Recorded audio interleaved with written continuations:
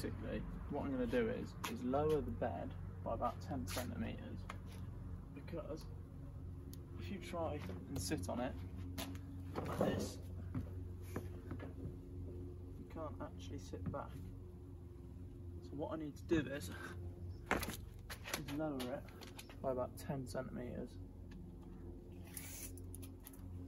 So it's currently about 58. So if I lower that by 10 centimeters, I'll take it down to about there. I think, fingers crossed,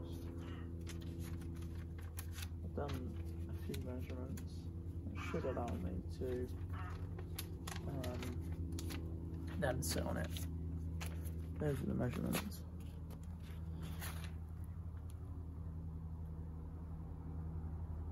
So that's as it is now. Then hopefully once I've done, once I've lowered that by 10 centimetres, I should be able to sit on it more like a sofa. That's the back cushion.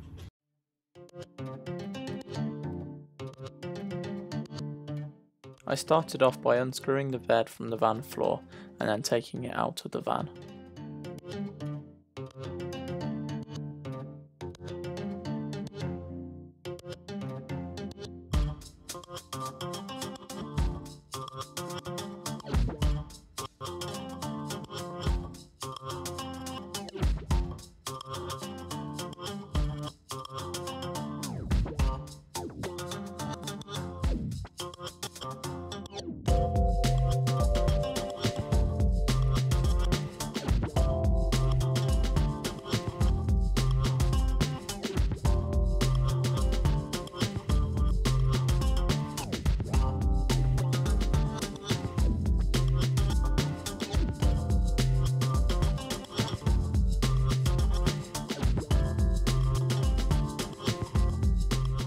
Next, I removed the sliding partition and cut into the horizontal frame to form the new shape so that the bed is able to fit around the wheel arch.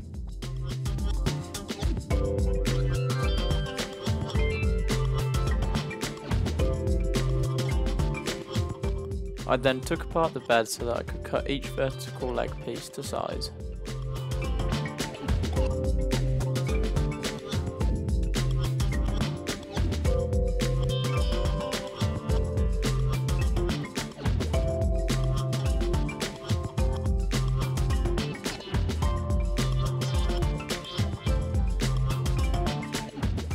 Here I am regluing and screwing the shortened legs back into place along with some horizontal pieces.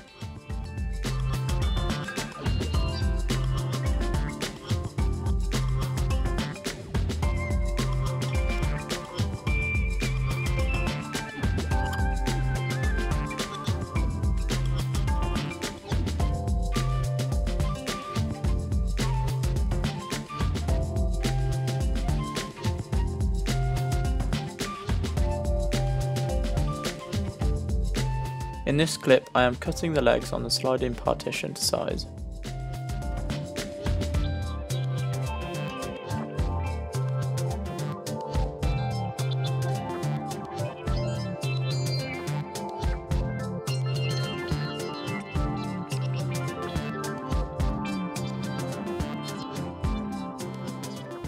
Now that the height has been adjusted, I shorten the length on the slats which are close to the wheel arch.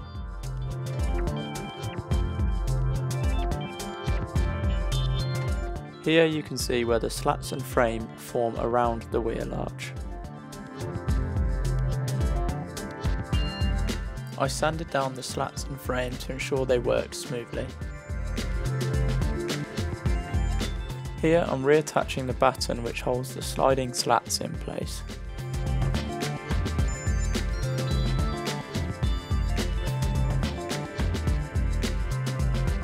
I then refitted some end pieces to the bed frame.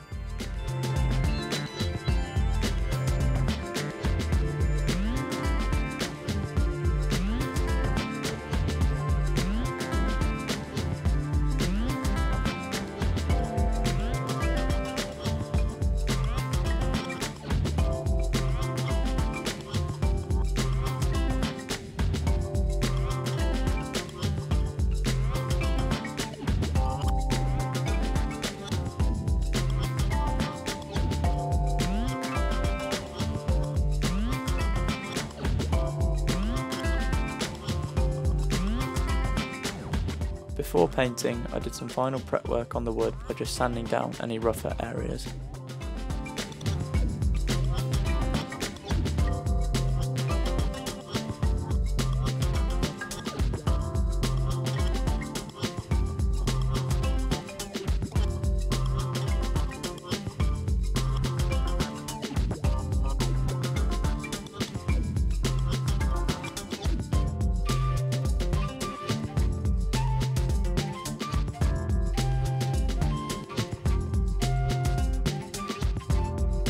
These two pictures show the lowered bed frame in the van. In the next clip you will see how it works better when being used as a sofa. Now the bed is 10 centimeters lower which means I can sit pretty comfortably on it. So yeah, very nice now. And then the other thing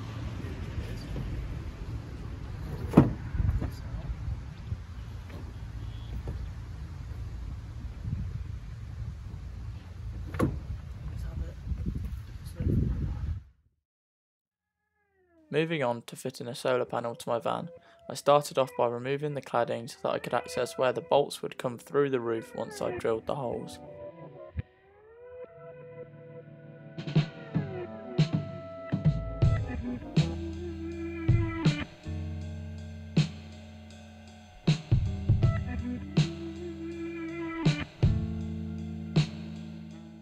The pre-drilled holes on the solar panels didn't work for the bridges on the roof of my van, so I drilled four new holes to attach the brackets to.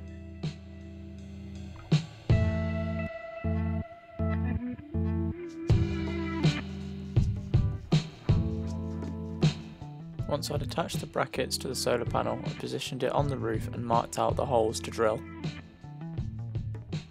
I proceeded to drill the holes, I made a mistake here by positioning the two rear holes over the ducting on the inside. This made it much trickier when bolting it on. If I would have moved the solar panel about an inch forward, it would have made it so much easier.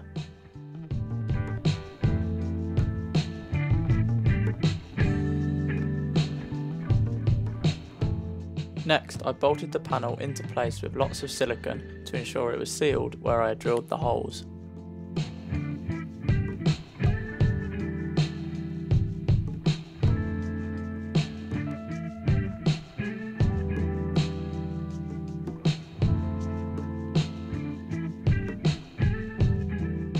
Here I am drilling a hole to feed the wires through when they come out of the junction box.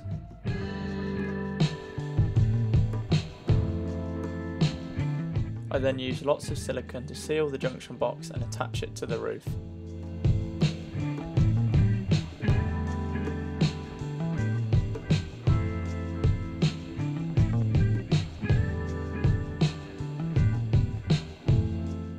Final step was to feed the wires from the roof down to the battery and the solar controller so that I could hook it all up and get it working.